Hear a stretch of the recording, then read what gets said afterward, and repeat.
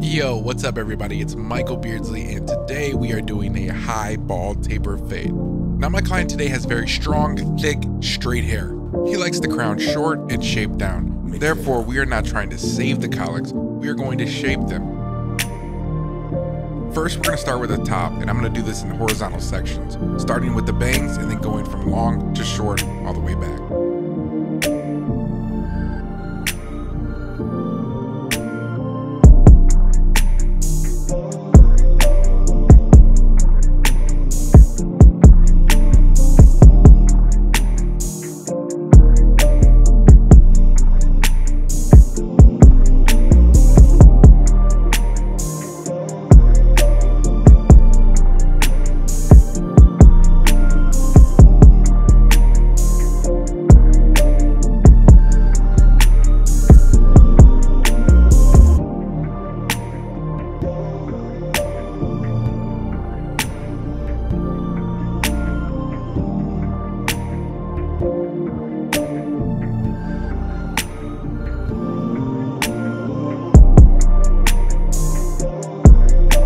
Next, we're to work on the fringe. My client wants his bangs just above the eyebrow. Using the pull and cut method, we're to focus on individual hairs, cutting the hair in a slide motion and not a chop to create texture.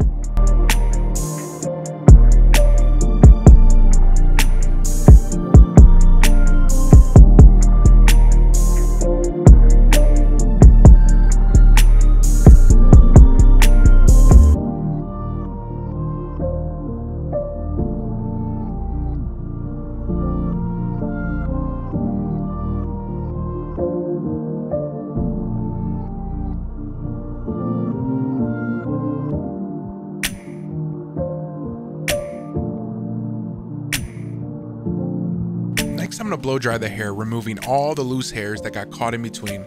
And I don't want my client sitting with wet hair, and I want a dry surface when I'm fading.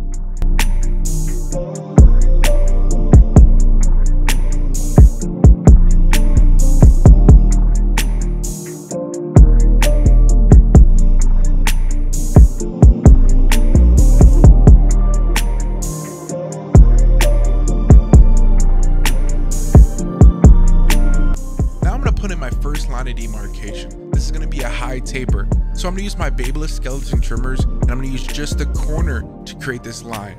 Now the reason for this is I don't wanna put the line in too harsh because then it becomes more difficult to remove. If you can develop the skill to put in the line of demarcation while also fading with the flick of a wrist or an up and out motion, this will make all of your blends go quicker and much more smooth.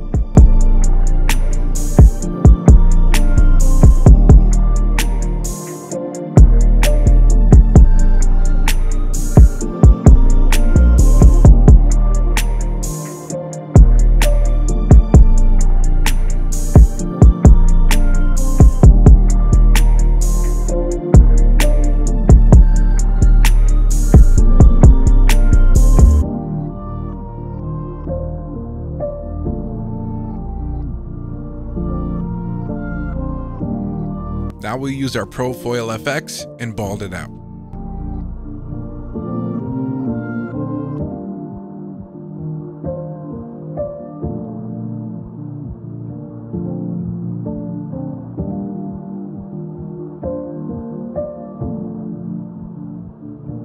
Now the one guard on the metal Wahl Seniors to debulk.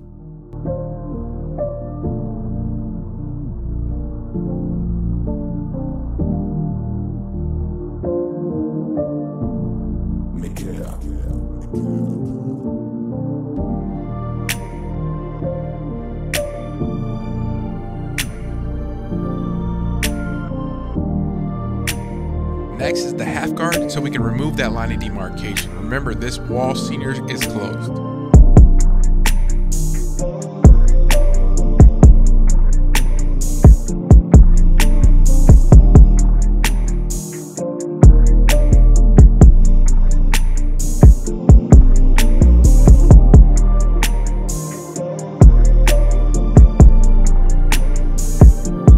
Fading up, so we're gonna grab the one and a half and remove that number one that we used to debulk.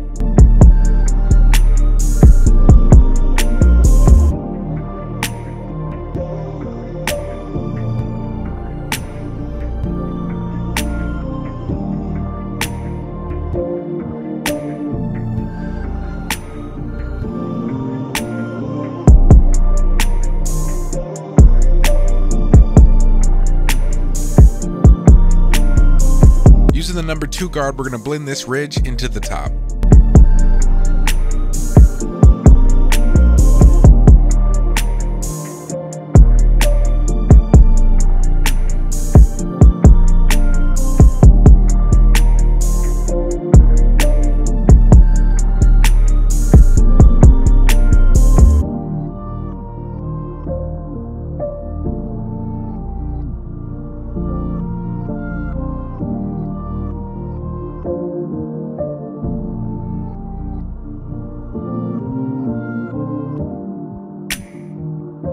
Now I know it's redundant seeing me do clipper over comb each video, but still, even after doing all these guards, I like to come through, clipper over comb, and really put in the finer details into this cut.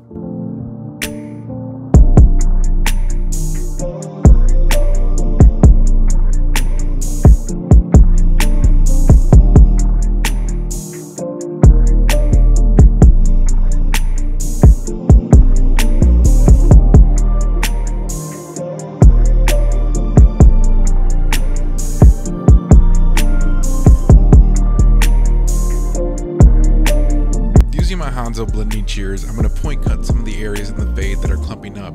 That way I get an even texture throughout the entire fade.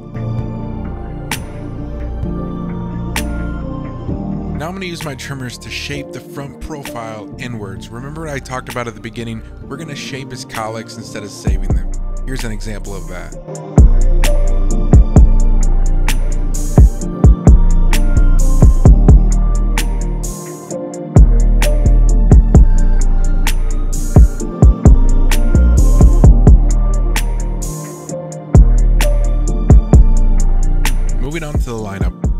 Start in the middle, moving to each corner without pushing his line back.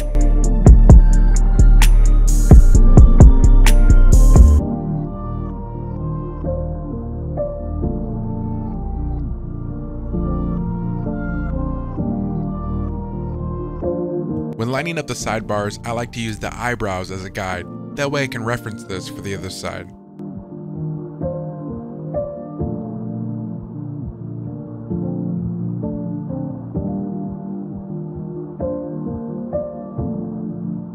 After I'm doing a lineup, I always like to finish with a razor, going against the grain and upwards towards their line.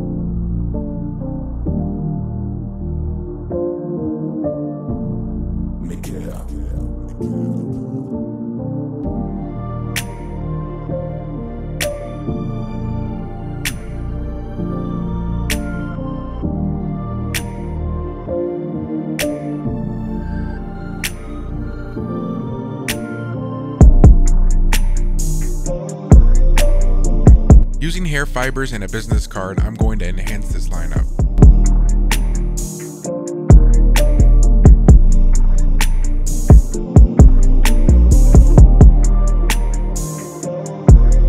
Using the matte paste by Statement, I'm going to style his hair, starting in the back and massaging my way to the front, getting deep into the roots.